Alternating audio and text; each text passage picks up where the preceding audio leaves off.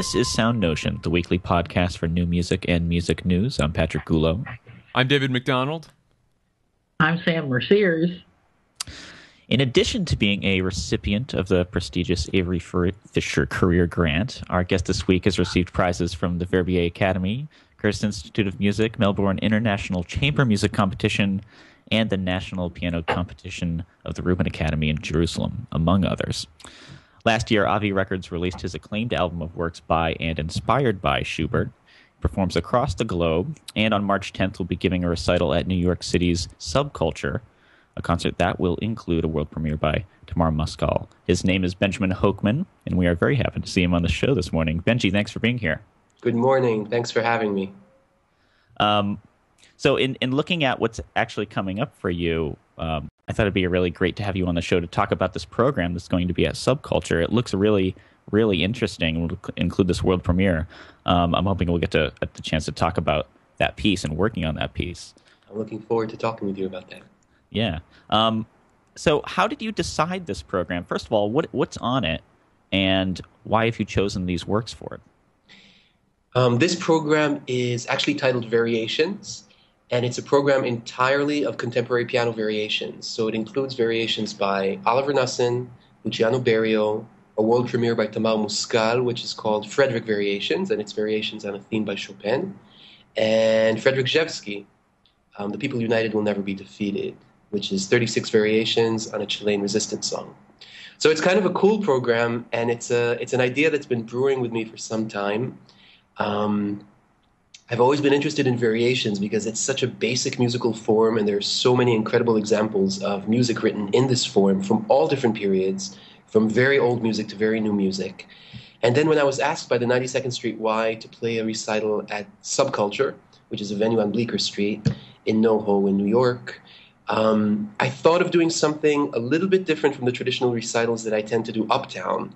Um, mm. Something about the location of the venue, the size of the venue, um, and maybe just an itch that I needed to scratch of doing more contemporary music, kind of combined into doing this program. So I'm really excited about it.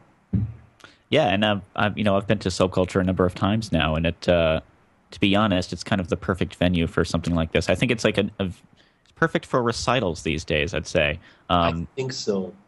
You know, I, I, for a while it seemed like LPR was the only game in town, but you know I think for New York, Subculture has provided another outlet. Um, you know, another place to, to re- especially for CD releases that are coming out too. That's very, it seems to be a popular place for that. Um, so, I mean, could you actually talk about the this world premiere actually by um, Muskal? I'm, I, what was the what was it like working on this piece and putting it together? Was this like a very collaborative effort between you and composer? Yeah. Well, I've known Tamar for actually quite a long time. Um, I've worked with her on a couple of pieces, a couple of premieres. We played um, a piano trio of hers at a festival in Maine um, that was titled Argaman, which, which means red in Hebrew. And um, I also played a piece by her for piano quartet and singer, which we did with Lucy Shelton, the incredible Lucy Shelton.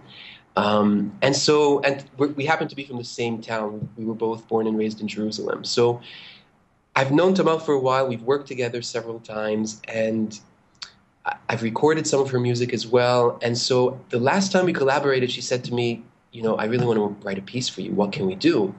And I said, That would be incredible. I would love to do that. And so we were just kind of waiting for the right moment um, for everything to come together. And then when I thought of doing this variations program, it seemed like the perfect opportunity to ask her to write something that would fit into that concept.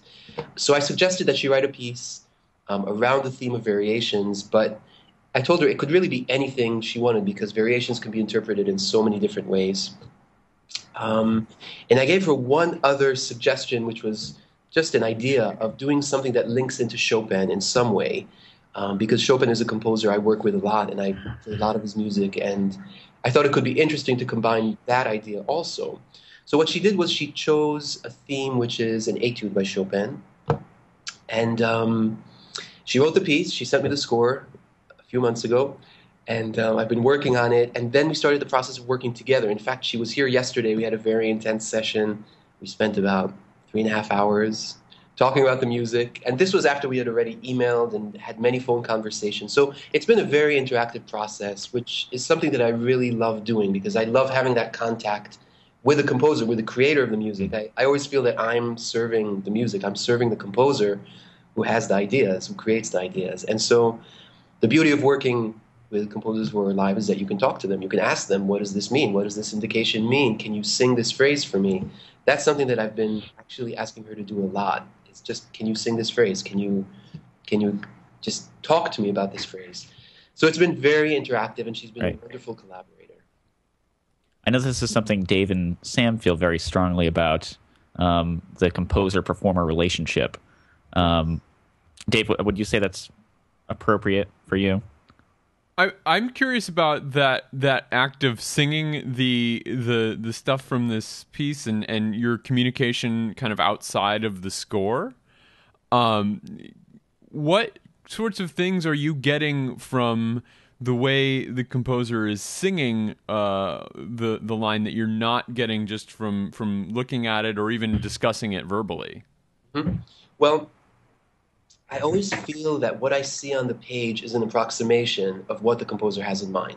There are so many things that all of us as musicians um, think about the music that are kind of nonverbal, almost a little bit abstract. You know, something right. something which is not just a piano or a forte or a staccato or a dash. And so, even when composers are incredibly skilled at putting their ideas down into a into a graphic form, I think there's something about going back to the basic idea of how does this phrase sound.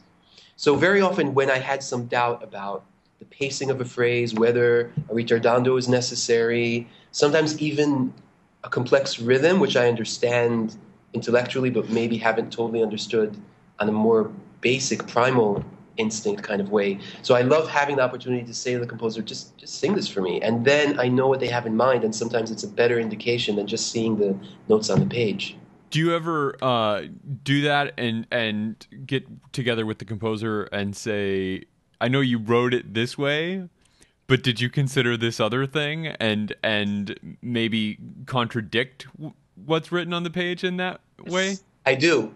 I do. That's great. I, I I mean, as a composer, I love that. I know some performers are uncomfortable with that, but I think it's great. Yeah, I love that too. And you know, I love working with composers who are open to that kind of collaboration because you know, I think it is a two way street. Of course, the composer is the creator of the ideas, but sometimes having a little bit more distance from the music. Of course, composers are always so close to the music they created, and sometimes the performer has a little bit more distance and maybe a different point of view. And I think the combination and the dialogue that's created is extremely valuable. Yeah, no, that's really interesting. Um, and and you you bring up an interesting point about the the idea of the authorship at that point, right? Is at some point there's a final version of the piece and while it might say you know commissioned by or dedicated to the performer it's the composer's name in the top right corner right? Yes, uh, and it's the composer's name in in in the program when somebody else does it a year or nine later. Uh, and and the premiering performer even the commissioning premiering performer may not have their name attached to it or even even known that far down the line. Yes. Um, so that's a, that's a, I think that's always an interesting thing when you get into that is is the issue of authorship, and then you can get into a point. It's if if the interaction is deep enough between the composer and the performer, where it does I think at some point make sense to share credit, but um, I, I mean I haven't I haven't gotten to that point. I've talked to uh, to people that have, but I, I always think it's interesting when the the the depth of the collaboration goes to the point of even contradicting some of the ideas that the composer mm-hmm. had about the piece. That's so interesting. That's you really often don't you often don't get that story. Yeah. Um, you know, in the in the in the history of a piece, but. Uh, I try to think, you know, if I see a score or, or something in the program notes where this piece was written for so and so, I have to imagine that there was a fairly strong collaboration. Yes, mm-hmm. so, absolutely. Go ahead. I was yep. ben, I was I'm sorry, I didn't mean to interrupt. Go ahead, Benji.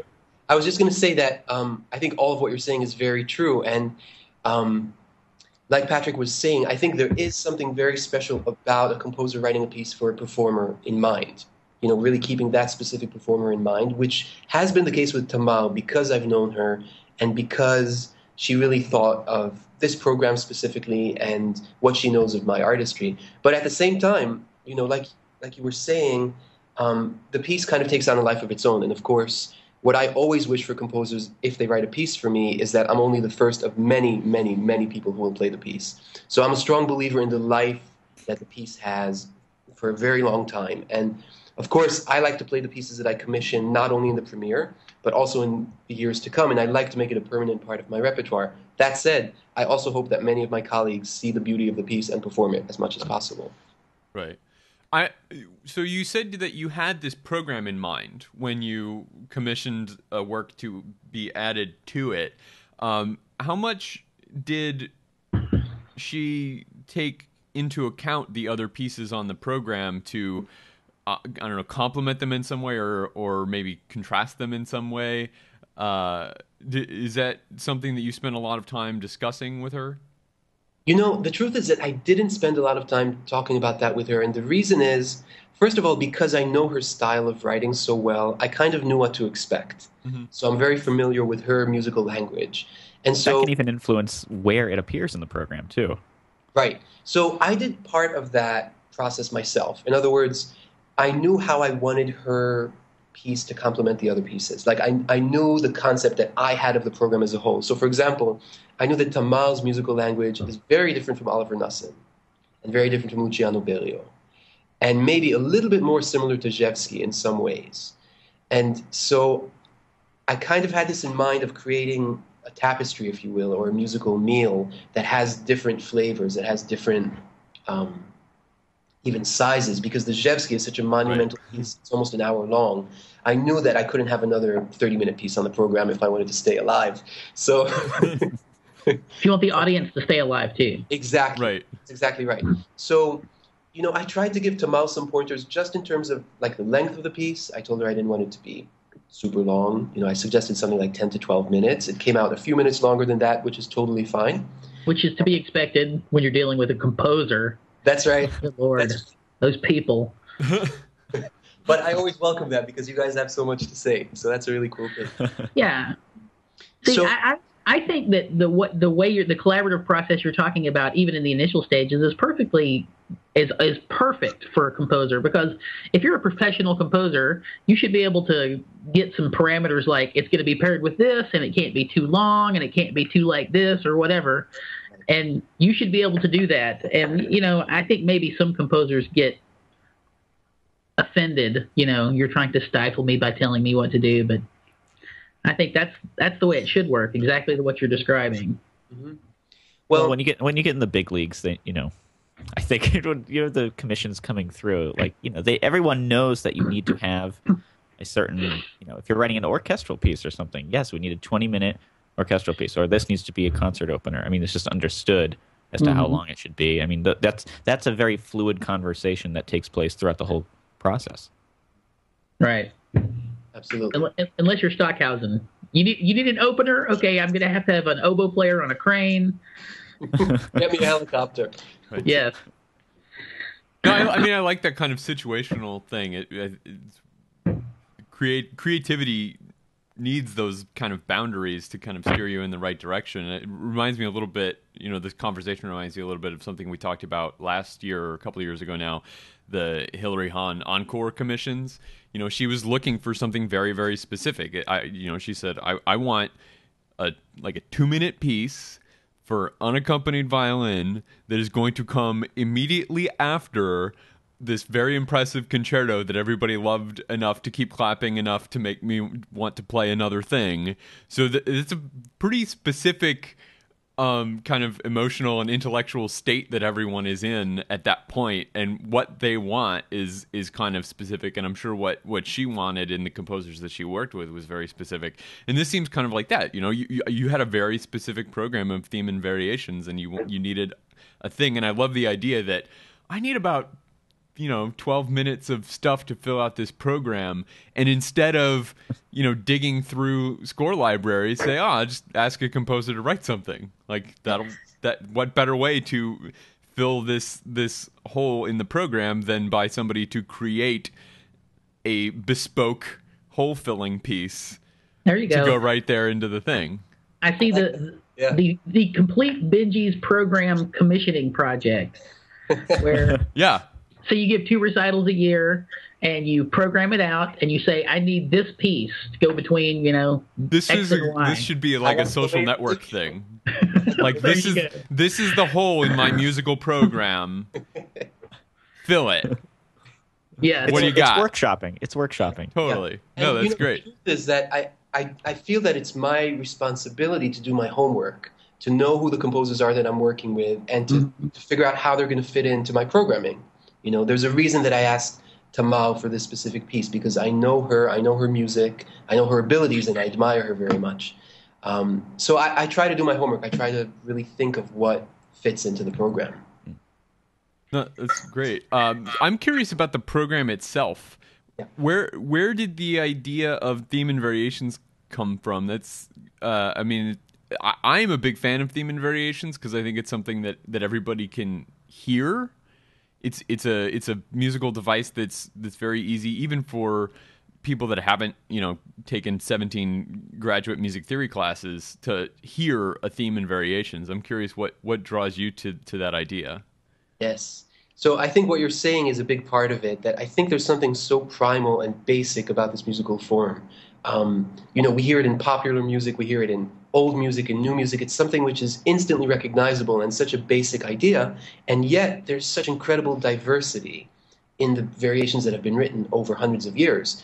Um, so, you know, for example, pieces like the Goldberg Variations, which is a piece that I've played a lot, um, or certain variation sets within Beethoven, late Beethoven sonatas, like Opus 109, um, Opus 111. These are pieces that we all know and love. And it's interesting to see how variations through the different periods have evolved and changed. And especially in the 20th and 21st century, I think variations have kind of gone in a really interesting direction. Um, so I'm thinking, for example, of the Webern variations, which is a piece that I played a lot and recorded. And, you know, it's actually difficult to hear what makes this piece a ver- theme and variations. So in that sense, it's a little bit obscure and strange, and yet at the same time, it's one of the most beautiful pieces that I know. Um, so I guess variations is something that I've come back to in different ways over the years. And I'm not quite sure exactly how this particular idea kind of took flight, but I guess I was thinking of variations and I was thinking of the diversity of different composers, and just I love the piece on the pieces on this program. Um, the Oliver Knussen is about eight minutes long. It's a compact, beautiful piece. Every note is exactly in the right place. It's incredibly colorful and imaginative. Um, it's a piece that I've wanted to play for a long time. The Luciano Berio Cinque Variazioni is an early piece in his career, um, dedicated to Dallapiccola, so it's kind of in that Italian tradition.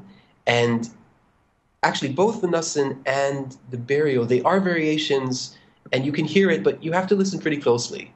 You know, I think it's the kind of piece that if you hear it for the first time, you definitely want to hear it again because it's so interesting and so intriguing, but you won't get everything on the first hearing. And so I think these pieces, um, they have tremendous impact, but they also kind of pique your curiosity. That was my experience when I first got exposed to these pieces. I, I loved them, but I knew that I needed more time to really go in depth into them.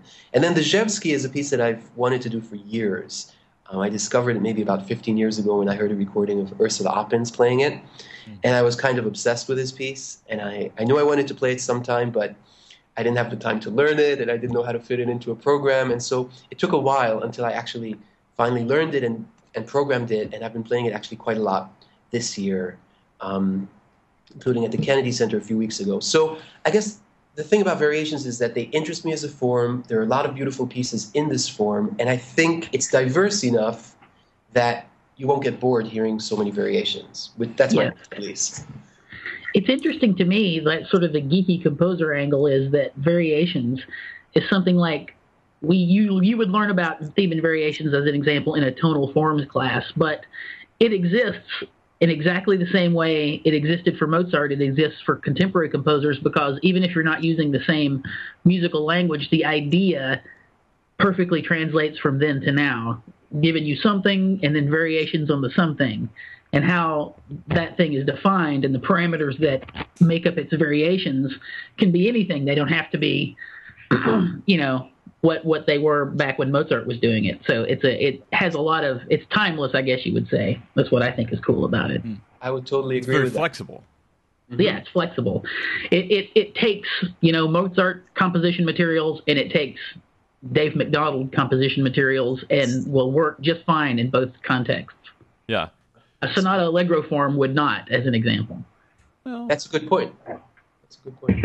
I think. Uh, Well, I think it would be harder I to think make it's great work. that um, that 92nd Street Y is a co-presenter of this concert because um, they're they're a presenter that will give you license to really do some programming like this or play the pieces that you want, whereas others might be a little like, oh, I don't know if we can do that. So I think it's yeah, good what, do you, because what do you got in the Schubert family? right.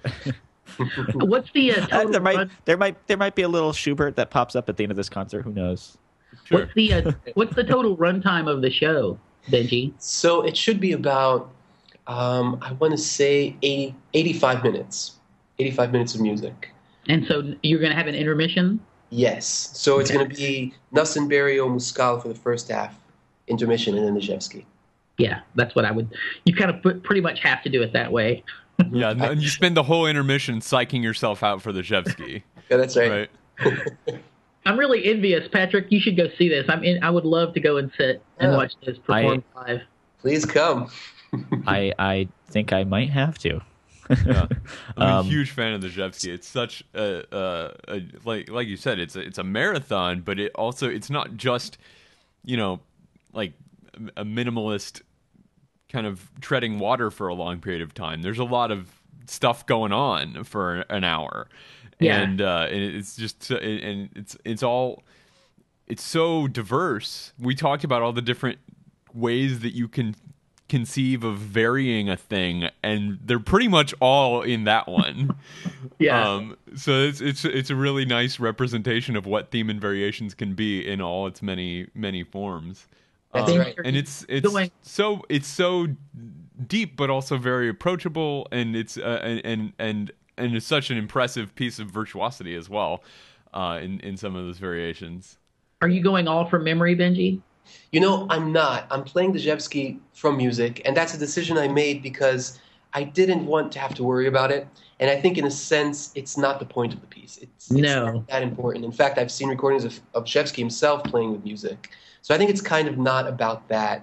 But you know, the cool thing about Dejevsky is that, in my experience, it's a piece that the audience connects with in such a powerful way Mhm. and that's been that's been a really incredible thing to see as I've played this piece this season, and I've played it in, in different places from house concerts to the Kennedy Center, and I find that wherever I play it, people have a deep experience listening to this piece, and I think there's something about the nature of the journey. You know, people really feel that they've gone through something, and I think part of that is the length of the piece, and I think part of that is um, just the, the content. You know, the the feeling that he's almost cataloging everything about the music of our time. It's so incredibly diverse. You know, you, you hear jazz, you hear minimalism, you hear some serial things, you hear virtuosity, you hear Rachmaninoff, you hear everything.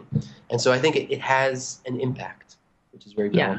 and and the the nature of the theme for it is really lends itself to feeling very kind of triumphant when you recognize it and, and when you, when it comes back you're like yeah that's that's the thing I know and love Yeah. you Yeah. I maybe that's just me maybe I'm Oh, weird absolutely. I agree with you. No, I think it's cool that most of the time when you know a piece is going to be an hour long, your initial impression of what it's probably like is there's lots of slow parts where there's not a lot of action and you've got to be real patient. Mm-hmm. And that's true of a lot of pieces, but it's weird. This one is like there's something to hang on to the whole time for a solid hour. So That's exactly right. this is So- like easy listening. You know, it's an easy hour. Yeah. So so after this concert, um, what else can we look forward to um, coming up for you?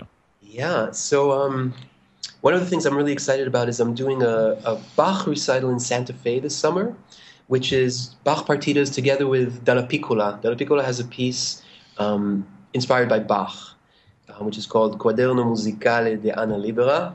Excuse my pronunciation in Italian, but um, it's inspired by Anna Magdalena Bach and the notebook for Anna Magdalena Bach, and it has um, short pieces based on the BACH theme.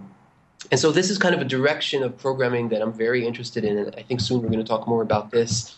Is I like this idea of taking music, which is in the core repertoire, which I think is so important and incredible, and I have something to say in it, but at the same time, um, juxtapose it with pieces that sort of create a dialogue, create a conversation, specifically 20th and 21st century works, and in some cases commissions.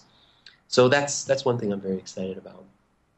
I think it's um it's it's credible that composers still get mileage out of the BACH. Uh, you know, like people from, well, I guess William Schuman to to uh, from what you from all the, all the composers that we've spoken about before. I mean, it's that's kind of an incredible thing. It's with Shostakovich as well. That's right. Yeah. Well, you you named some names, Patrick, but also like probably 13% of all freshman composition majors, something in that neighborhood, also do the Bach theme and something they're working on. Yeah. Did you? I don't. I don't think I, I have. did not. Well, so I think we're disproving that because I don't think I did either. Well, we'd, we'd need a b- bigger sample size to really determine. I suppose. I suppose my statistics professors would be disappointed in in that survey that I just did. That's right. so, should we should we move on to a couple of news items here? Sure. What do you got? Yeah. I don't. I don't. What do you got? Uh, well, tell us about tell us about this new, new program new, that's so, out. So, well, there's a number of of new pro. There's always new programs. You know, it's the nature of programs. Um, but there's uh, you know, if you're a Sibelius user, and we talked about this when it was announced. Uh, I know we have a lot of people listening to the show that are composers, um, and of, course, you know, part of that is um, making your stuff look nice and make sense to other people, to, to people like Benji when they look at it, that it that it looks like a thing that they would want to do. Um, and Sibelius is is a big part of that. Sibelius, as we've discussed got rid of all of the main developers on Sibelius and hired a completely new development team. This past summer would have been the usual time frame for them to release a new uh, update to Sibelius. Would have been eight Sibelius eight, and uh, they didn't. I assume in part because they got rid of all the people that knew how to develop Sibelius.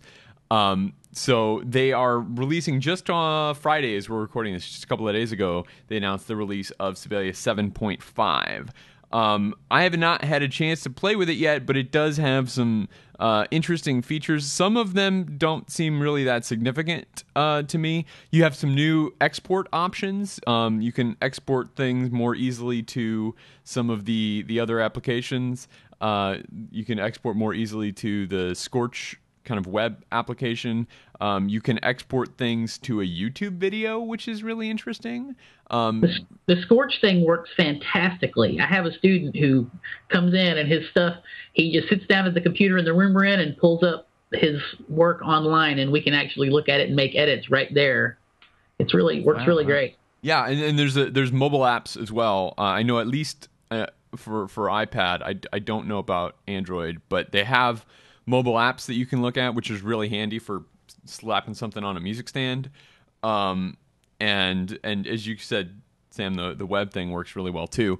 Um, the the YouTube video I think is kind of interesting, where it seems to, I, and I say, again, I haven't tried it. What it what what it seems to be doing is slapping together a score video that plays the music and follows the score, which is pretty yeah. cool. Pretty cool. Um, and, will, and the, the MIDI way, will be synced into when the video changes. Yeah, that's what I'm. That's that's the oh, impression wow. I am getting. By the way, Benji, there's a great uh, if for anybody who wants to get a preview of your show, there's a great uh, score video for the Rzewski piece on YouTube. Like the entire thing where you're scrolling through the score watching. Well, so what I was thinking I would want to do with this feature in Sibelius would be to have it do the thing with the score and pump out a version of the score, but then pull it into a video editor and replace the audio track with a perform with a performance recording, and then have yeah. the performance lineup with. You the, already assuming you stick pretty close to tempo. Yeah, you, got, you got to be pretty, pretty close with that. yeah, close enough. Yeah, you could tweak it here and there to match it up, but it would be pretty close to matching. I think it would be pretty neat. Uh, but anyway, most of the features in here don't strike me as that um, you know impressive. It's it's a minor upgrade, but it is a paid upgrade. So it's um, between 50 and 150 bucks depending on what kind of Sibelius license you have right now. So it's not as much as a full version of a new big update to Sibelius, but it is a, a little update. Um, so if you are a Sibelius user, you should check it out. It's it's competing with the new version of Finale that just came out, which is uh, uh, I think a much bigger update, and we'll we'll look for a, a bigger update to Sibelius in the future. I a rather compulsive upgrader uh, and and avid Sibelius user. No pun Di- intended. whoa, whoa, whoa! See what I did there? whoa. Avid And Sibelius. I'm an avid Sibelius user. Yeah. yeah. Uh, I uh, I really didn't mean to do that. Um, I'm probably not going to upgrade. I'll I'll do the trial. I'll give a review in the future, but Um, I'm going to hold off for now. Sam. Dave, a feature that this has, I have Finale 2014, and it doesn't have anything like this. And I, looking at the screenshot of it and the story we're looking at, it looks like a more complicated or more uh, comprehensive version of things I've seen in my students. I've had to reckon with Sibelius because of students, but the uh, what they call the timeline window, where it looks like what you're looking at is like a um, sequencer track you know, with like a window that you drag around. Yeah. So to me, that is very useful when dealing with big scores because you're looking at a zone in a compact version and then you grab the box and move it around to different zones that you want to look at. That's a much easier way to navigate through big scores. Yeah, I think I would be interested in trying something like that.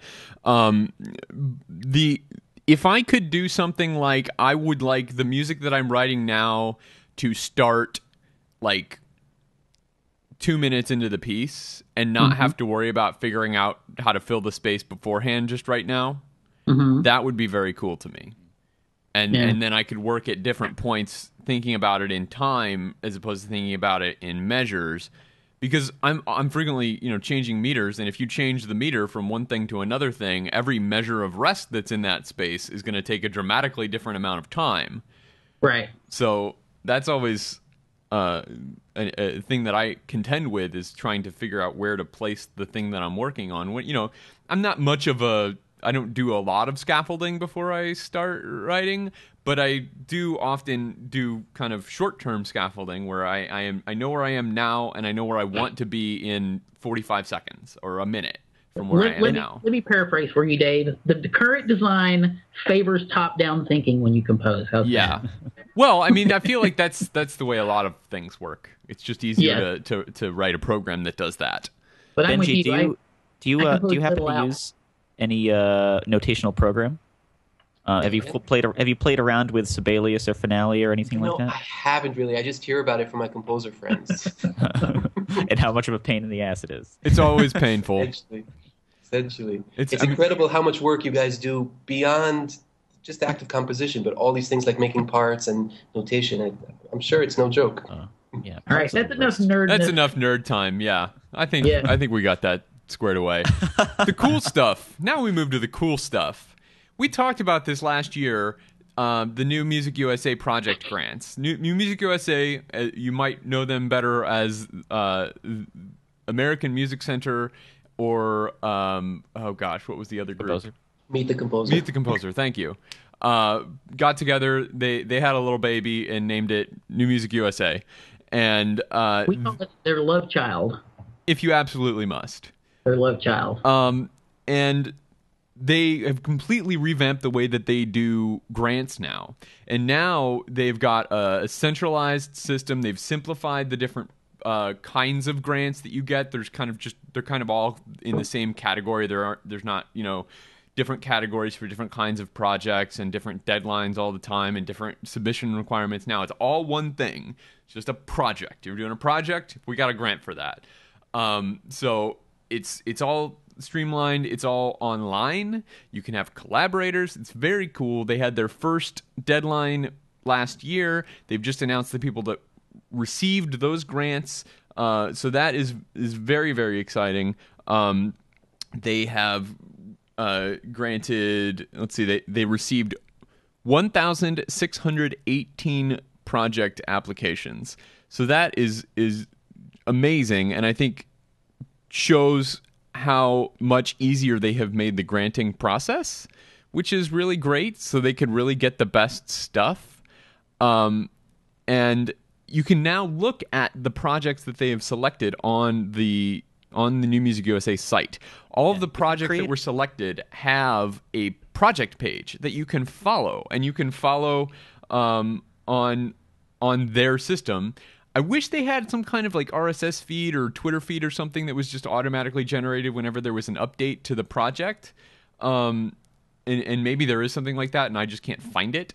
Um, but they do have a system where you can like log in and sign up to get updates about these projects, and they all have these really beautiful pages. Check check these out. Right, this is an Ice Lab project. The great uh, ice people that we we've had some of these guys on the show before. Um, and you can see all of their different updates. You can see some of the things that they've done in the past. Well, they're um, also kind of creating a, a, network of sorts too, because what you do is you create a profile if you are yeah. a person who is or, or, is looking for for for a grant, or you're involved in one of the projects, um, and you can tag yourself being associated with different grants, I believe. Yeah, and I think you can then contribute to the materials that go on the pages for the things that you're associated with. Mm-hmm. Like even if you're a performer, it's an, it's a you know if you need all of these grants are um, you know, they go across composer, performer, presenter, I believe too. Yeah, I think presenters are, are, are a thing that they award as well. They're they're looking for anybody that's that's presenting music in any way. Right um, now, here's one thing though: I unnamed individuals on the interwebs were complaining. I'm sure very reliable though. When we're complaining when this list came out that like everybody that got a grant was like already or most of the people who got grants were already big, well-funded institutions. Yeah, I, d- I noticed something similar when I saw it. There were a lot of big name organizations that I recognize, and you see the same thing though with all kinds of these grants. You know, when you look at the people that are getting big grants from the NEA, it's the New York Philharmonic and and it's not Ice Lab. And now when you drill down a little bit to New Music USA, it's Ice Lab and not. I, I mean, I don't know what contemporaneous or something. Um, so I feel like that's always going to happen because you're trying to show them that, that this is going to be money well invested in a project that is going to be worthwhile and valuable. Um, sure. You got to start doing smaller projects, and then eventually you'll be able to get a grant for your your oboist crane helicopter project just just trying to just trying to play devil's advocate. It's called it's called journalistic integrity, Dave. I wouldn't know anything about it. Perhaps you could tell me sometime. No, you should sit and look through all the uh, the uh, projects though. There's some really cool ones coming up. Yeah, we, we encourage everybody to to check this out and and and share them on social media. They're very shareable because there's a lot of media on these pages. There's photos and videos, and it's it's a it's a cool thing. And it, I, as I said, making it easier and more interesting to apply for a grant is not an easy problem to solve, and I think they've done a really good job at it. So yeah. Um, congratulations yep. to to both uh, New Music USA and all of the people that that uh, got those grants, and and even all the people that applied because it's a it's a cool new thing, and I'm sure there's going to be a lot of stuff that comes from this. We'll we'll keep in touch with some of these projects. Uh, what else do we have, Patrick? Um, well, you know who, you know what organization actually has quite a bit of money? Um, you know the New York Yankees the New York Yankees. In addition to the New York Yankees, I believe it's also the Metropolitan Opera. Never heard of him. Uh, what does he do? Really? What does he do? He he he he he does he does the musics. Uh, it's at it's at Lincoln's Lincoln like, Lincoln like Place Perry? something like yeah yeah like that. Okay. So there's not a whole lot uh, of a story here. The the story is they're entering negotiation, negotiations for the next season now, and concessions are being asked for, and concessions obviously aren't wanting to be given as is to be expected. Hence, this is the pull quote from the end of the piece. Uh, this is a person, I can't remember the person's name, but a representative for the Met itself. It would be prudent for all Met employees to anticipate and prepare for the absence of Met income in the fall and winter of 2014, and perhaps even longer. It, it, says, it says that at the end. So. Yeah. This is upcoming uh, upcoming union negotiations at the Met. Yikes! Which Peter which Peter and, Gelb is going to handle personally for the first time. And they're doing yeah. a new commission this season, right? Isn't there? There's a new opera on the on the program. Is it the Nico Muhly thing? No, that was last season. Mm, what am I this thinking past then? season was- There- I thought there wait, was a no. Uh, so I mean, yeah, this is Nico Muhly. Two Boys was this past fall. right. I mean, maybe I'm Um, imagining things. Well, they They- came out with there was a release that kind of highlighted all like a bunch of new works that were going to be coming. Like there's going to be a Golijov opera in like 1819, Um, and there are a few other commissions coming up too. Did Benji? Did you do you happen to know off the top of your head? The I don't remember a Net commission, but I think there may have been a Saariaho opera, which is not a premiere, but I think they might be presenting that. Maybe that's what I'm thinking Oh, of. that sounds familiar. Yeah. Well, Uh, we'll be we'll be very interested to follow how this goes. We've we've been talking about all kinds of labor issues in in music, and in fact, next week we'll we'll be talking to uh, s- senior orchestra business correspondent Drew McManus There about uh, about about uh, these these sorts of things. We haven't spoken with him for a while, and he's got some really cool projects going on at Adaptistration. Um, and so we'll have to ask him about this. But it seems like the the threshold for having these kinds of problems is creeping up the budget scale. Yes. So it used to be that just the the little tiny regional orchestras were having these kinds of problems, and then slightly larger and larger and larger. And if the Met is starting to have these problems, I mean, we we even talked about Chicago Symphony last season for for you know what was it a day or a week or something. Yeah. Um, but I think I think San Gelb is I think Chicago. Gelb is wising up. oh yeah, San Francisco too. Gelb is wising up, and he's trying to massively uh, under promise and then over deliver. So like make it sound like things are going to stop, and if they just continue with the season, it'll be a huge victory. Right. We'll So- see. We've been we've been mean to Peter Gelb before on the show, but I wish him I wish him I, I predict that we will be again in the future. Actually, maybe it didn't catch on the first time I did it, but when you have a massive PR faux pas, I suggested calling it pulling a gelb. So we'll see if he if he lives up to the to, to that moniker this time around. But best of luck to him, really. They, there is some Adams. It looks like on the program. Um, Yes, it's it's old Klinghoffer Adams. It's is going to be- Klinghoffer, but uh, maybe that's what I was thinking of. Anyway, This is uh, the f- first time at the Met, though. that is amazing to me that Klinghoffer has never been is, done uh, at the Met. How is that not? It's time. I guess it's kind of smaller scale than something like Nixon, but Well, I mean, yeah, I mean, it's it's, it's taken, it's gone around. I mean, it was in nineteen. I believe the first production was in nineteen ninety one. Um, in San Francisco, I believe, but it's gone around. It's gone around. Just hasn't made it to the Met yet. So well, they're doing their Cavalleria Rusticana Pagliacci this this season, so that was close. It's been, all, I'm sure, at least five years since they've done that. oh, oh, Um, see, I can still be mean to Peter Gelb. We're still and and well, they gotta listen. There, there are reasons why certain operas are are staged the Met every basically every season. because they sell all the tickets. Yeah. Um, should we should we move should we move on? Are we we I- got it. I think. Uh, I think we're done. time for the pick of the week. Are we gonna are we Uh, gonna have a pick of the week, or am I just pick of the week. going crazy? the pick. No, I- of I- the week. I think the pick of the week should be Benji's Schubert album. To be Yeah. honest. Yeah, so we've got a few tracks from from from Benji's album of of Schubert and Schubert inspired newer stuff. Um, so uh, we didn't really talk about this album when we were talking to you earlier, but do, do you want to maybe uh, uh, explain what this project was? This is a recent album, right? It just came out Yeah. at the end of last year. Yeah, it was released in November. It's titled Homage to Schubert. And the title comes um, from a very small but very beautiful piece by Kurtag, the great Hungarian composer, titled Homage to Schubert. And that's the concept of the album. It has two um, beautiful Schubert sonatas the A major sonata, Deutsch 664, and the D major sonata.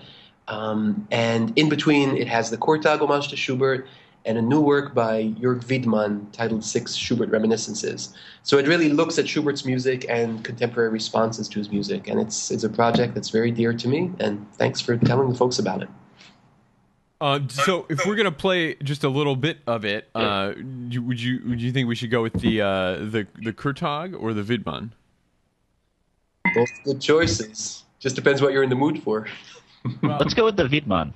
I agree because I, I think I've probably heard the the the Kurtag before, um, so we have uh, just some selections uh, from the piece. So we'll play a little bit from the from the top of this. This is from the first movement of uh, Widmann's. Uh, I guess I'm going to say idyll. Is that how you say those words? Right. Yeah. I I I'm never sure. Uh, idyll and He's- abyss. Dave's a professional. I am very professional. That's how you know that we planned this so far in advance. Um, this is Idyll and Abyss by Widmann, performed by our guest Benjamin Hochman.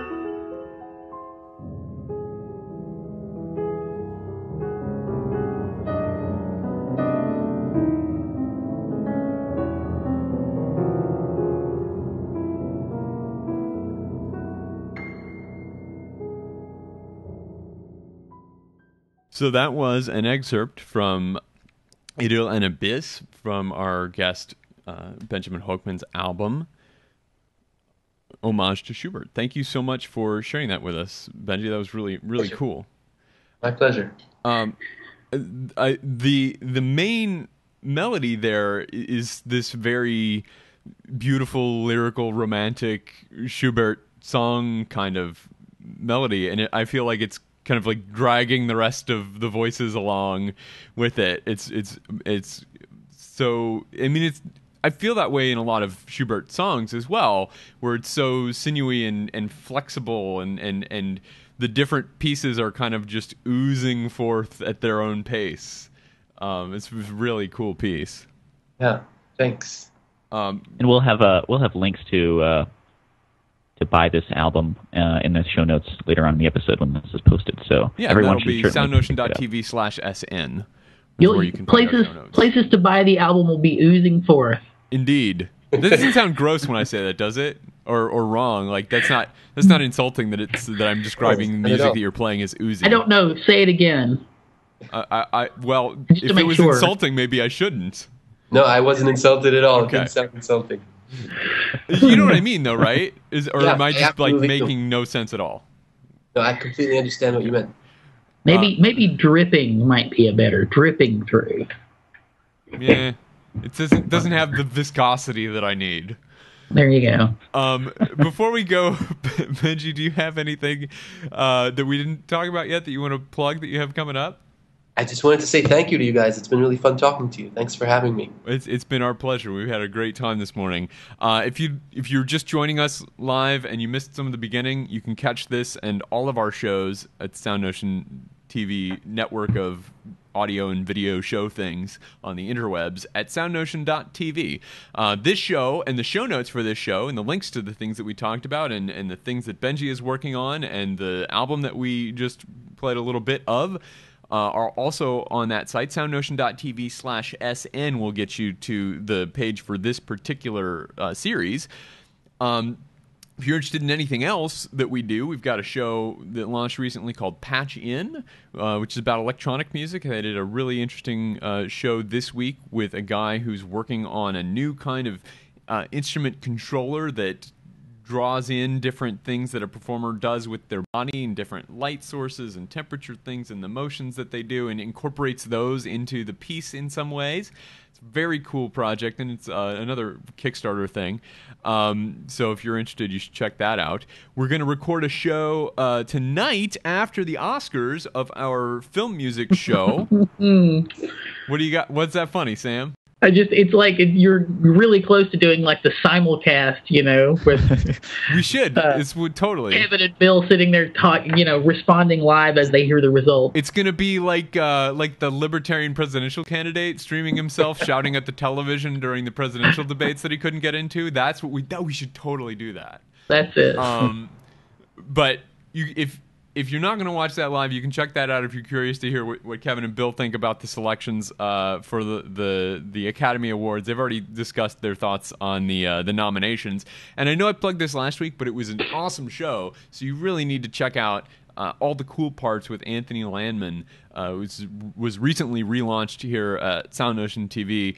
Uh, it's a great audio show, interview show, and he talked to the founder or one of the founders of Roomful of Teeth, which uh, was a, just won a Grammy for their amazing vocal performance of, uh, of Partita for Eight Voices, uh, which just won the Pulitzer last year. So they are just. They also just won a New Music USA grant. Yes, and a New Music USA grant. So they're basically kicking all the ass in the universe, and it's a really interesting conversation. You should you should definitely check it out. Uh, and that's all at soundnotion.tv. Uh, that one is soundnotion.tv slash ACP for all the cool parts. Um, what do I usually say at this point? Follow Join us, on, on Facebook. Twitter. like us on Facebook. Do all that. You know, subscribe to us on YouTube. Comment on the show. We would love to continue these conversations after the fact, uh, and and please do that in those places. Uh, we enjoy speaking with you. If you'd like to support the show, you can do that using the Amazon affiliate box on our site. Gives us a little commission. Doesn't cost you any more money. Uh, we have a great time thank you to everyone for joining us. You can follow us all on Twitter uh, as a group. We're at Sound Notion. If you want to send us a story to talk about on the show, use hashtag SNWeekly, and we check that out as we're putting the show together. I'm at Dave McDowell. Patrick is at Vox Shibuya. Sam is at Housegoy, and Benjamin is at Benjamin Hochman. So. Uh, you should follow us all on the Twitter machine, and we'll continue this conversation uh, later. Sound Notion's introduction includes music by our own Patrick Gulo and video by Tyler Lepp. Thank you again so much for watching or listening, and we will see you back next week. And... Losing forth.